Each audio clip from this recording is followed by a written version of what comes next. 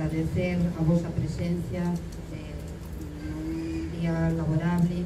Lamentablemente temos que unirnos todos os vilalveses e vilalvesas e tamén os que señan de fora e que están por aquí, pola nosa terra, para eh, amosar o noso total rexeitamento eh, por os sucesos que aconteceron onte eh, acabannos de confirmar das fontes oficiais que efectivamente foi un asesinato machista e así o vamos a eh, manifestar eh, coa lectura dun manifesto que vai dirixido a deixar patente e claro eh, o noso posicionamento en contra de todo tipo de violencias machistas, en especial aquelas que rematan coa perda de vidas humanas, de vidas humanas eh, de mulleres. Por rematar a lectura deste manifesto, eh, procederemos a guardar un minuto de silencio en respeto eh, a esta situación e cando remate ese minuto espero que todos vostedes eh, o apoyen con un forte aplauso eh, de un recoñecemento da dor que están a padecer as familias e eh, amigos e eh, veciños en xeral. Moitas grazas a todos pola vosa asistencia.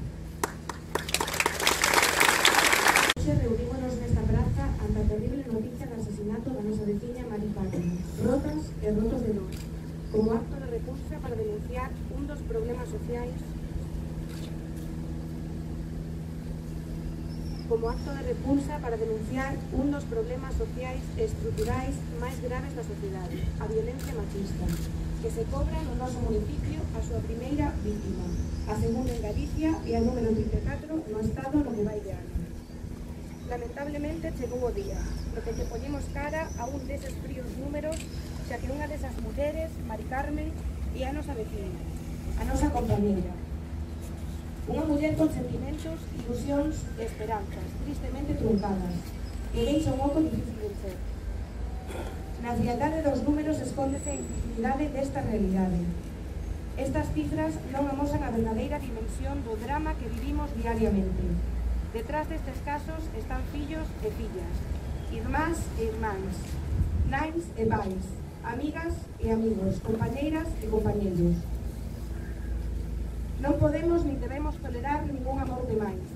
Non podemos permitir que nos agredan insulten, humillen, acosen e asasinen. Xa que ninguna muller merece ser maltratada e nada justifica que un home emprega violencia para dobregarnos e someternos co único fin de perpetuar o machismo.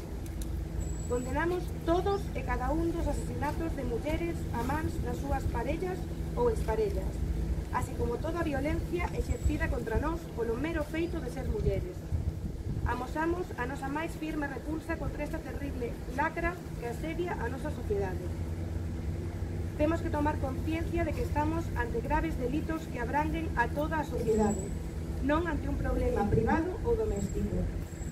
Diariamente se vulneran, entre outros, o dereito á integridade física, á liberdade e á dignidade de miles de mulleres. Son moitas as medidas legais policiais e sociais adoptadas nos últimos anos, pero a vista da realidade aínda insuficientes. Hoxe, dende Vilalba, asumimos un compromiso firme coa igualdade real e efectiva para non volver a lamentar ningunha morte máis. Exiximos unha sociedade na que as mulleres teñamos algo que dicir e, sobre todo, nada por calar. Por iso, dentro do Concello de Vilalba, por iso, dende o Concello de Vilalba, a través do presente manifesto, Queremos condenar os crimes machistas que acaban coa vida das mulleres. Solidarizármonos coas familias e amigos e unirnos na súa dor. Rexeitar calquera forma de violencia exercida contra nós.